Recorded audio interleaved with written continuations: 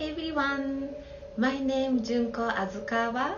Today I'd like to show you how to grind your ink stick and for how long you're supposed to grind.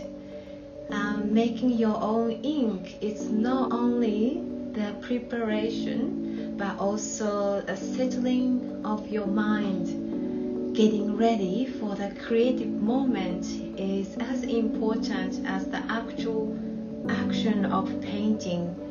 I'll demonstrate how I grind my ink stick and when to stop. Here I have two different ink stones. This large one is called Tankeiken from China. It has beautiful carving artwork around the edge. Some of you might have a simple palm-size inkstone like this, but today I will demonstrate with this large one so you can see it better. And I'll use this ink stick made in Japan.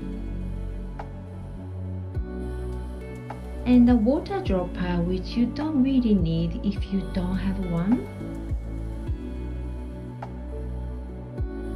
First, pour some water onto this flat surface where you grind your ink stick. Not much, small amount, enough to sit on the surface.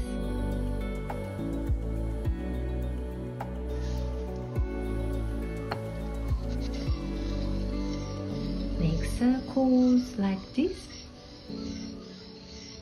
I love this sound.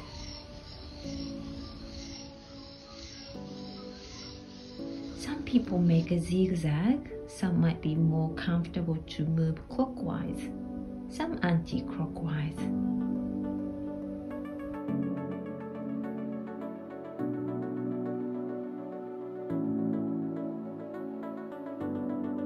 You don't need to push too hard against the stone like this. The weight of your hands is enough to grind an ink stick. Enjoy this moment. Your mind is always busy thinking about many things at the same time. Sometimes what you're doing and what you're thinking about are not the same. You are making ink, but you might be thinking about something completely different. As you grind your ink stick, your mind becomes calm and begin to focus on this moment mindset will create real artwork which holds some life and powerful messages. Brush marks are the reflection of yourself, so you need to devote the whole of yourself, body, mind, and spirit to the moment. Okay, I'll fast forward time a bit.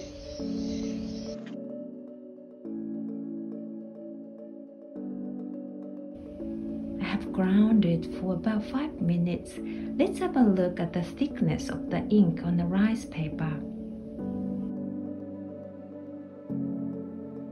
Hmm, ink runs on the paper as soon as the brush touches. The ink tone is quite dark but still runny. I'll keep grinding for another 5 minutes.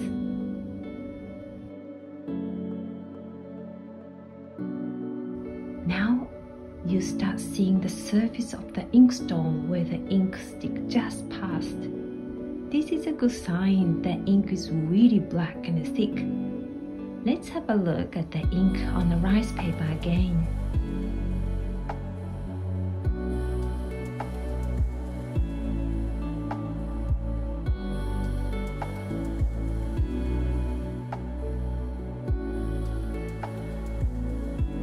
Ink doesn't run instantly anymore and you can paint strong black lines.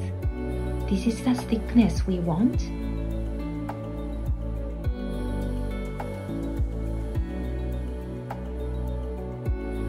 If you want to make more ink, keep the thick ink in a well and simply add a little bit of water onto this flat surface again